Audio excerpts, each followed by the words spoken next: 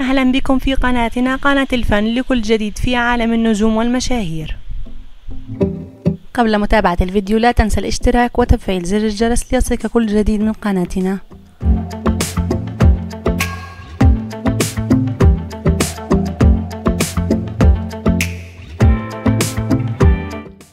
تعرفوا معنا في هذا الفيديو على حياة الفنان الراحل والذي اشتهر بشوكة القناديل الفنان السوري طلعت حمدي. يعتبر الفنان القدير طلعت حمدي وجها أصيلا من وجوه الدراما السورية تميز بالعناد في وجهات نظره الخاصة. كان يحب التجريب وطرق الأبواب في الفن بمجالاته المختلفة ومسيرته الطويلة تركت علامات بارزة في حياته الفنية.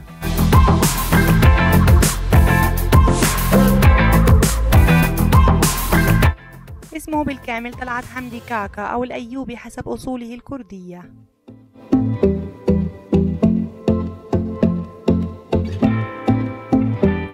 طلحت حمدي ممثل سوري من أصل كردي من مواليد حي ركن الدين بالعاصمة السورية دمشق في تاريخ 3 سبتمبر عام 1941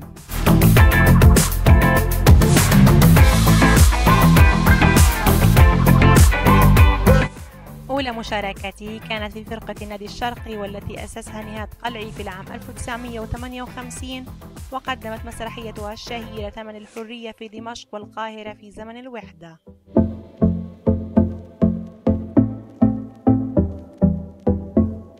انضم طلعت حمدي إلى المسرح القومي في دمشق والذي أسس في نهاية خمسينيات القرن الماضي إلى جانب عدد من مؤسسي الدراما السورية منهم عمر حج ورفيق السبيعي وعدنان بركات وذلك قبل أن يلتحق بالمسرح العسكري في الستينيات.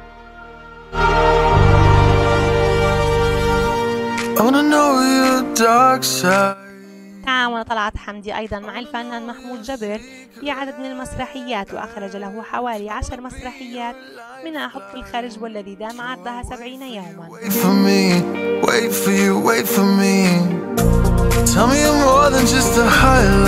اشتهر بدور شوكة القاناديلي أحد أهم أدوار طلعت حمدي في مسلسل الشهير حمام القيشاني الذي استمر لخمسة أجزاء وبدأ إنتاجه التلفزيوني السوري في العام 1994 wait for you, wait for me.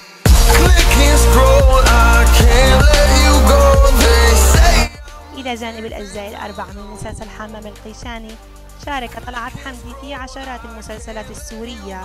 فلعب دور الصحابي الزبير بن العوام في مسلسل الحسن والحسين في عام 2011 كما وشارك في مسلسلات أسعد الوراق ونزار قباني وأنشودة المطر.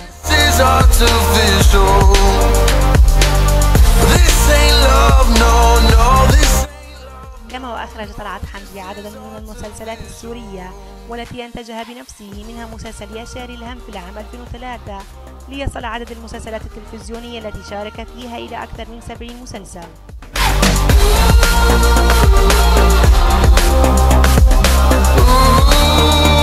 صورة للفنان طلعت حمدي في سن الشباب.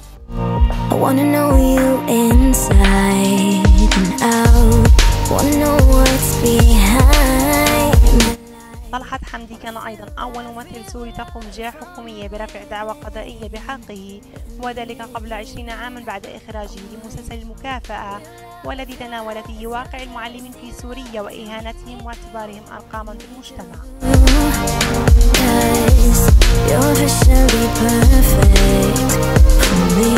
غادر الفنان طلعت حمدي دمشق متجها إلى أحد الدول العربية وذلك بهدف العمل وبعد ساعات من وصوله إلى الأردن أصيب طلعت حمدي بنوبة قلبية ليرحل هناك عن عمر يناهز ال 72 عاما.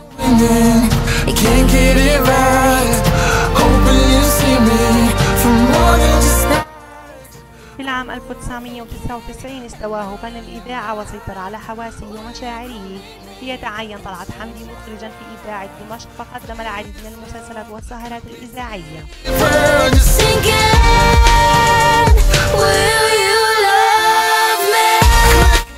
تزوج طلعت حمدي لفترة قصيرة من نجمة سوريا الأولى. الفنانة الراحلة سلوى سعيد فشكلت معه ثنائيا قل نظيره في الحياة والمهنة.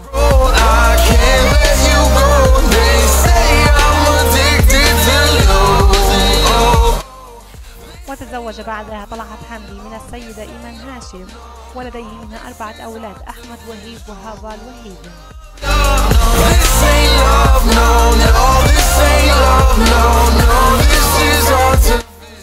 طلعت حمدي مع زوجته إيمان هاشم.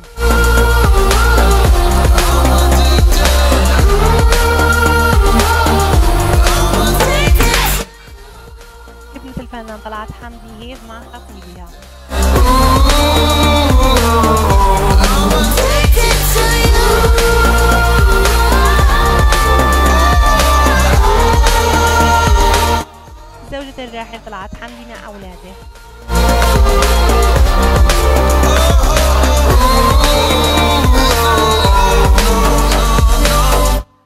ورث أبناء الفنان طلحت حمدي عنه مهنة الفن.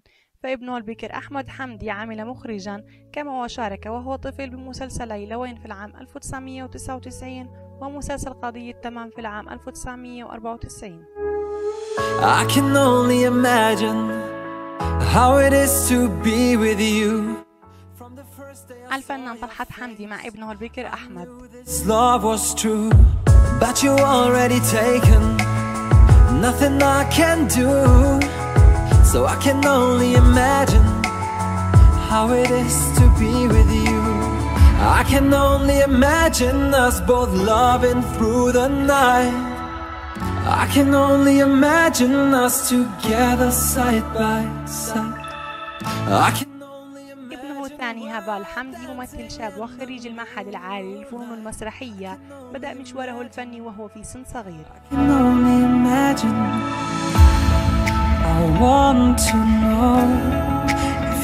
صورة للفنان طلعت حمدي مع ابنه هافال.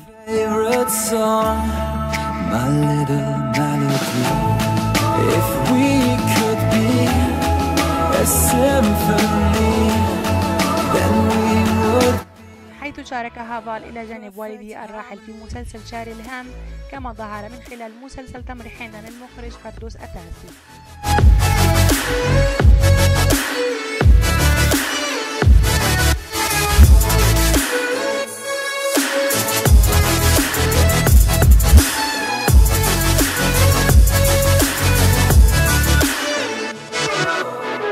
I don't want to live this way. I really wish we هذا الحمدي مع ابن الفنان أيمن رضا والمخرج يوسف رزق I don't want to be with you But the next time I saw your face Nothing I can do الأفلام السينمائية التي شارك فيها حمدي فيلم فدائيون حط النصر ومن أبرز أفلام حمدي أحلام المدينة في العام 1984 وهو الفيلم الذي صنف ضمن أفضل 100 فيلم عربي في مهرجان دبي عام 2003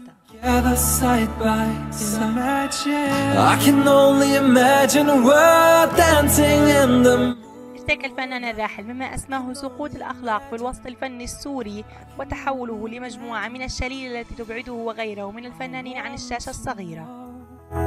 If you will be my favorite song, my كلام طلعت حمدي جاء ضمن لقاء مع مجلة جهينة في العام 2006 واتهم خلال اللقاء الفنان الراحل خالد تاجة بنكران الجميل. واعتبر حمدي أنه مد يد العون لتاج في أثناء أزمة ابتعاده عن العمل وتنكر له تاج لاحقا.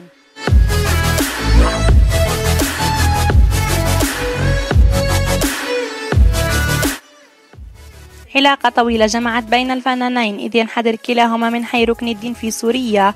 وجمع القدر بين الفنانين حمدي وتاج مجددا إذ توفي في العام 2012 ودفن في دمشق.